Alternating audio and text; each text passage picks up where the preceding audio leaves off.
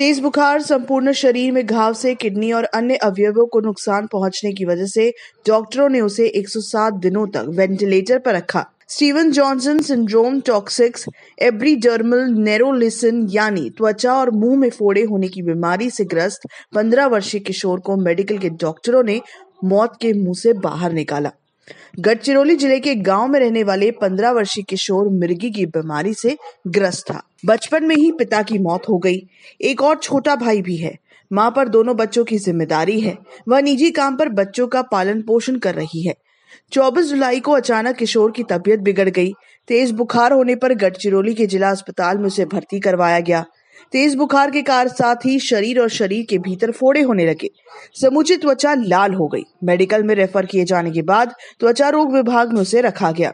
तबीयत में सुधार नहीं होने पर उनतीस जुलाई को मेडिकल के वार्ड चौबीस के आईसीयू में उसे भर्ती किया गया। जाँच में पता चला कि उसे ट्विंस जॉनसन सिंड्रोम हुआ है। फोड़े होने से सांस लेने में भी परेशानी होने लगी। फेफड़ों में सूजन और पानी जमा होने लगा। रक्तदाब कम होने से किडनी पर भी परिणाम होने लगा। आँख की रक्तवाहिनी में भी गांठें बनने लगी। मेडिसिन विभाग के डॉक्टरों की टीम ने किशोर को वेंटिलेटर पर रखा। एंटीबायोटिक दवाइयों का कोई असर नहीं हो रहा था। इसे क्रिटिकल इलनेस के कारण मायोपैथी डेवलप हो गई थी। बाद में डॉक्टरों ने अनेक मल्टीपल एंटीबायोटिक देने की शुरुआत की। किशोर के खान पान पर विशेष ध्यान दिया गया। पूरे 107 दिनों तक वेंटिलेटर पर रखने के बाद 12 नवंबर को वेंटिलेटर निकाला गया।